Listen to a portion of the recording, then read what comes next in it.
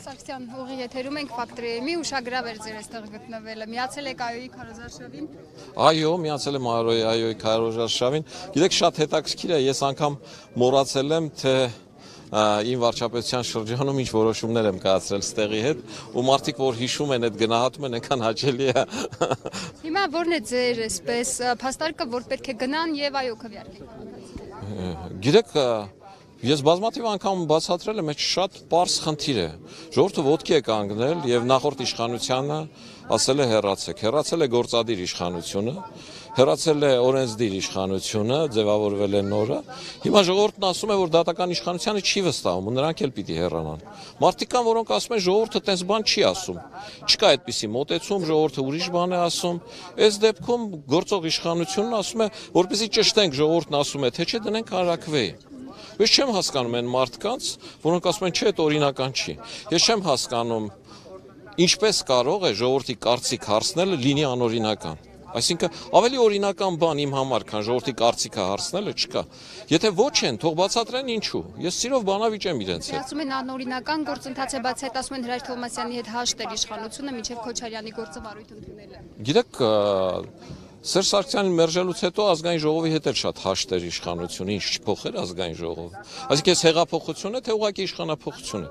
Ես հստակ հեղափոխություն էր, ժողովուրդը ոդկի եկավ, ոդկի կանգնեց ոչ միայն Սերժ Սարգսյանին փոխելու համար, ժողովուրդը ոդկի կանգնեց նաև ազգային ժողովը փոխելու համար։ Ժողովուրդը իր իշխանությունը իրացնում է 3 հիմնական բուրգերի միջոցով՝ գործադիր, օրենսդիր եւ դատական։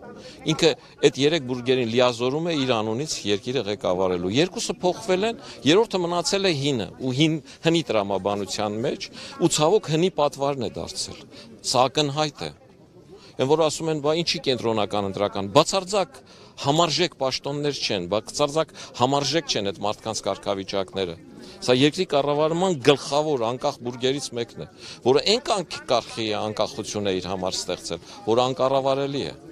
168-րդ հոդվածի երկրորդ կեսով ինքն ասում է ցանկացած բան ինձ պիտի հարցնես։ Ես համաձայն եմ, թե չէ։ Բնականաբար իրեն որ հարցնես, քու մոտ կրճատել է պետք կամ փոխել է պետք, ինքը ասելու է ոչ, չէ։ Այն դեպքում, երբ որ հենց ինքը օրենք է ստեղծել, որ համանadrական դատանի նախագահը պիտի 6 տարի ժամկետով պաշտոնավարի, իսկ ինքը պաշտոնավարելու է մինչև 2035 թիվը։ Այստեղ արդեն լուրջ խնդիր է, չէ։ Դրա համար ես այդ ոչ ասողների ինչու ոչը որ իրենք չեն մեկնաբանում, որ իրենք դուրս չեն գալիս քարոզարշավի։ Իմ համար անհասկանալի է։ Շատ կուզենայի, որ երեկոյան այդ եթերով իրենք քարոզարշավի ինչ որ բաներ ասեին։ Ես էլ ուշադիր լսեի այդ արգումենտների, որի հետ կհամաձայնեի, որի հետ չէի համաձայնի։ Այսօր ձեր հարցերին պատասխանելուց կպատասխանեի իրենց։ Հումորով կպատասխանեի, թե օրենքով, այդ կերևար, այդ ցույց կտա ժողովուրդն էլ ուշադիր կհետևեր այդ ամեն ինչին։ Հիմա իրանք հաճ իրենք ընդհանրապես դա անում են, որ ժողովուրդը չհետևի դրան։ Իրենք ուզում են, որ ժողովուրդը ընտրատեղամաս չգա, ինչը։ Դե դա հակակաղակական է։ Եթե քաղաքական ուժը ուզում է, որ ժողովուրդը пассив լինի, այդ հակակաղակական է։ Այդ ուժը ուրեմն քաղաքական չի։